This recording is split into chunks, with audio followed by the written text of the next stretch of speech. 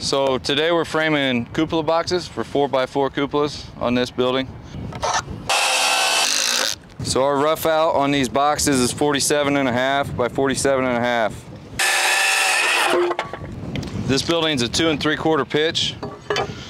So at that one foot mark, I square up and mark two and three quarter because that's two and three quarter up for every foot over. Take our cut off, make it flush at the bottom. Do the same thing on the other side.